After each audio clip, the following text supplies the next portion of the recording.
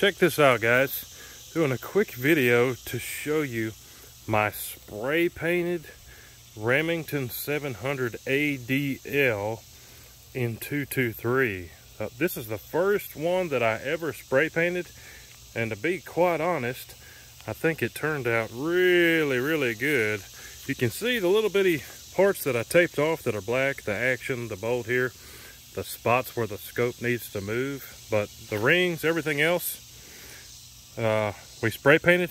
I've got a full video on this, on how we did the stencils and the tiger stripe, if you want to call that. Me and my sons actually did this together. I think it actually turned out pretty good. And this rifle is actually probably the most precision rifle I have. That's some more of that tiger stripe stuff. I've got a load from my buddy Lee that will put 223 in the same hole with this rifle. But appreciate y'all showing you this quick spray paint job.